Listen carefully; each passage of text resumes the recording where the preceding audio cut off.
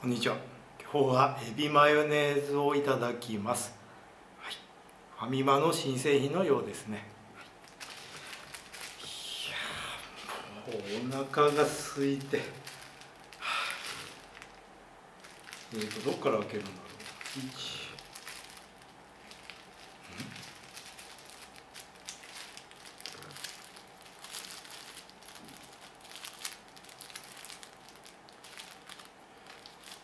ここか。なんかちょっと分かりづらいような、まあ、表の部分から開けて、はい、で両側に。お腹がゴロゴロなっているという、はい、いただきます。うん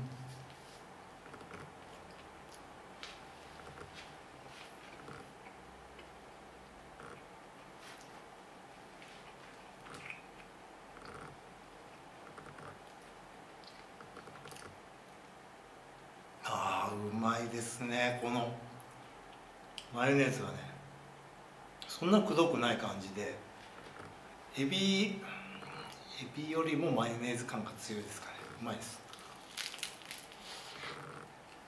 うん。なんですかねこのマヨネーズのまろやかなコクのある感じが。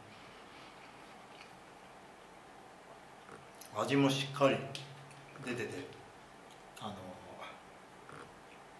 食べやすいです。うん？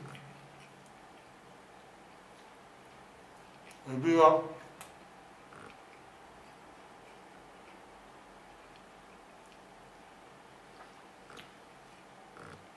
ちっちゃいのがね2匹ぐらい。うん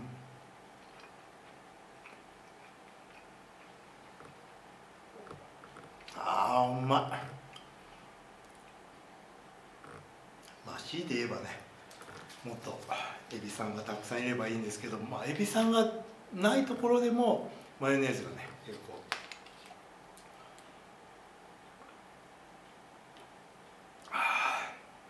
いい味出しているので食べやすいと思います。結構おすすめじゃないですかね。はい、まあ、かなりお腹が空いてるんで今はね評価がかなり甘いと思うんですけどそれでもね結構いいかなと思います。ごちそうさまでした。というわけでエミマヨネーズのおむすびをいただきました。ご視聴ありがとうございました。